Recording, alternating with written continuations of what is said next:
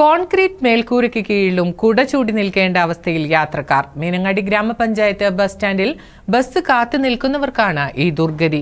വെള്ളം കെട്ടി നിൽക്കുന്ന മേൽക്കൂരയിൽ ചെടികളും പായലും വളർന്ന മഴ പെയ്താൽ ചോർന്നൊലിക്കുന്ന അവസ്ഥയിലായിട്ട് മാസങ്ങളായി. ജില്ലയുടെ മധ്യഭാഗത്തായി സ്കൂൾ കോളേജ് വിദ്യാർത്ഥികളടക്കം നൂറുകണക്കിന് ആളുകൾ ഓരോ മണിക്കൂറിലും വന്നു പോകുന്ന സ്ഥലമാണ് മീനങ്ങാടിയിലെ ബസ് സ്റ്റാൻഡ്.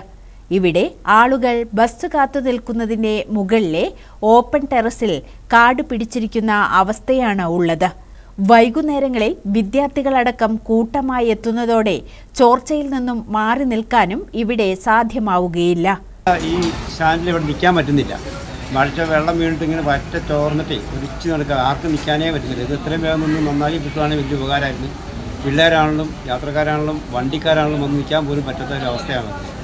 ഇവർ ഇരിക്കാൻ പോലും സ്ഥലമില്ല. ഇരിക്കുന്നിടത്ത് വരെ വെള്ളം വീണിട്ട് നിൽക്കാൻ പറ്റാത്തൊരവസ്ഥയാണ് വരുന്നത്. എത്രയും ഈ പഞ്ചായത്ത് നിന്ന് തീരുമാനമാക്കി നന്നാക്കി തരണം. ജനങ്ങൾ ഇരിക്കാനൊരു വഴിയാണ്. അല്ലെങ്കിൽ മഴ കഴിയുന്ന വരുമ്പോഴത്തേനും നിൽക്കുന്നതിനും ആകെ ബുദ്ധിമുട്ടാണ്. എങ്ങനെയെങ്കിലും നമുക്കത് നന്നാക്കി കിട്ടണമെന്ന് മാത്രമേ നമ്മൾ അപേക്ഷിക്കുകയാണ്.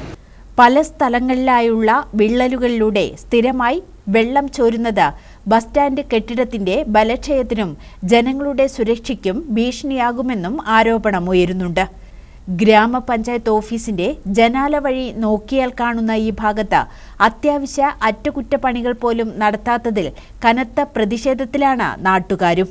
News bureau Meenangadi.